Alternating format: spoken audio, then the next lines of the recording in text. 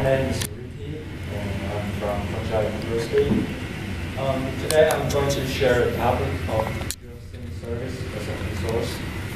Um, geosync service, uh, GSS for short, is a direct standard of OGC.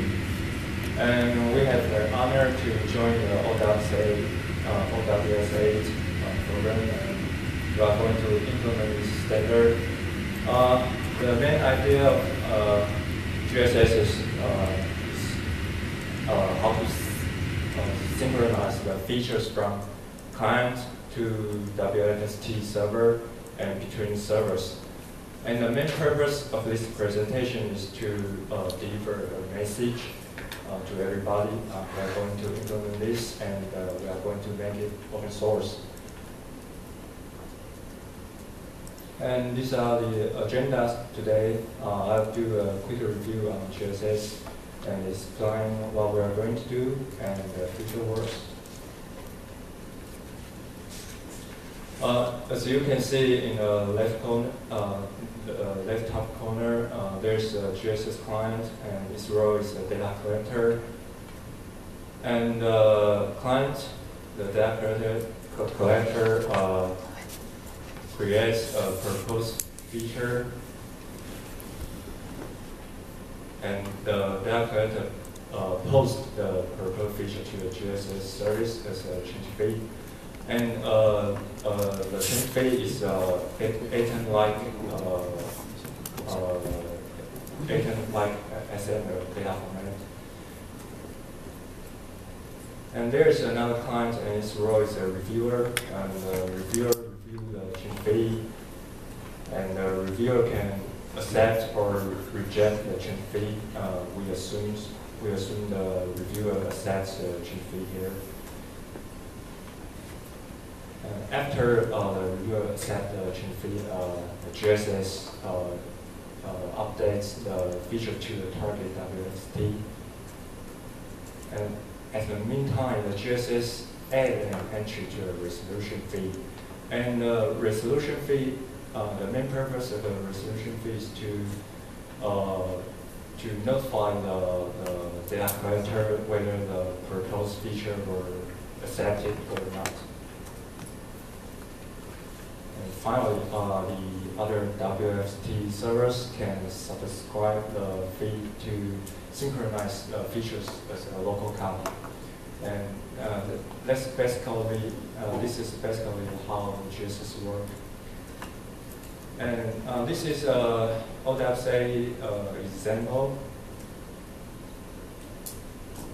Uh, we assume there uh, there is an earthquake happen, happened in the Monterey Bay uh, of California and it caused uh, oil spill events.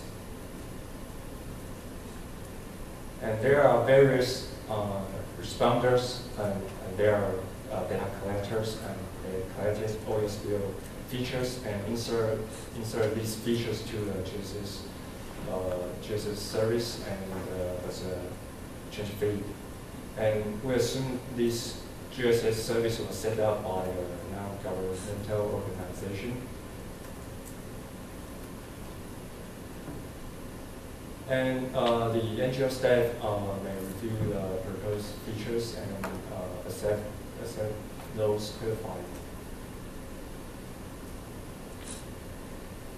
Um, uh, there, uh, maybe there are uh, third parties uh, organization uh, interested in uh, the oil spill extents events, and they can subscribe the oil spill topic.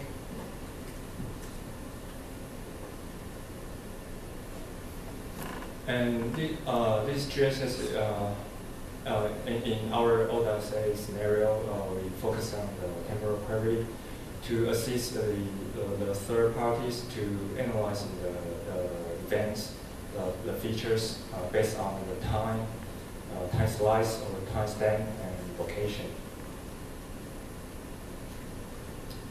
And uh, we are going to implement this uh, standard, so we, we found a great open source project.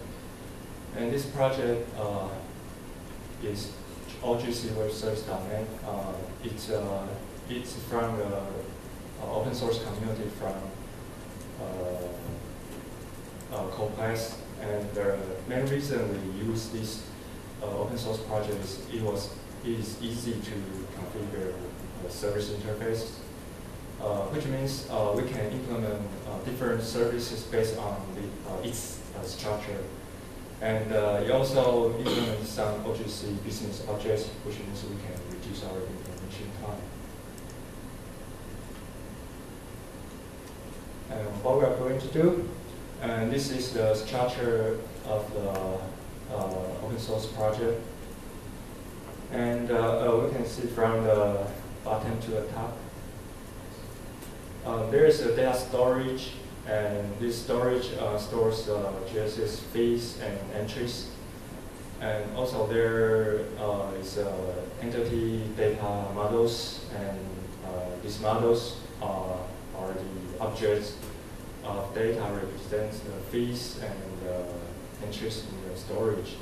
And we, we are going to implement some uh, OGC GSS models these models are these objects of XML uh, represent the OGC's uh, standards via XML deserialization mechanism.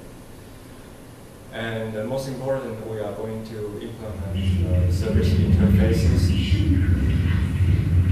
and and uh, we are going to configure the service and host the service to the uh, web application.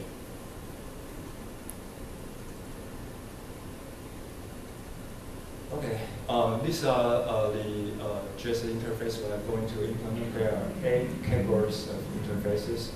And so far, we have implemented these two interfaces. we hope we are going to uh, follow interfaces. And now, uh, yeah, here and uh, the next step, we're going to implement the transaction and change management and topic management and add notification and synchronization mechanism. And we hope we can uh, finish uh, these jobs uh, in the end of this year and publish to the open source project. And these are my present presentation today. And uh, we hope you can download this open source uh, solution from this URL. thanks for your attention.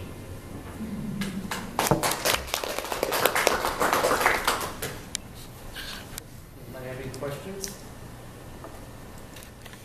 What kind of services are you going to implement?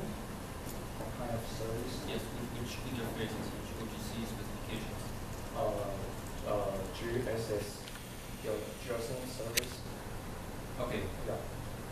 Uh, is it the only one, or because you, you had uh, in one of the diagrams, uh, I think one or two uh, service implementations in there? Uh, up with the components, the boxes Yeah. are all the, all the related uh, uh, services and WSD and uh, uh, GMF, of course. Yeah.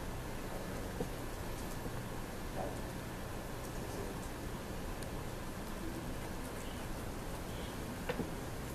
Did- said this was a net, open source, stuff. I mean, I, caught my eye because you see a lot of net. Uh, my organization does a lot of net, so I, I'll be really interested in seeing this, experience.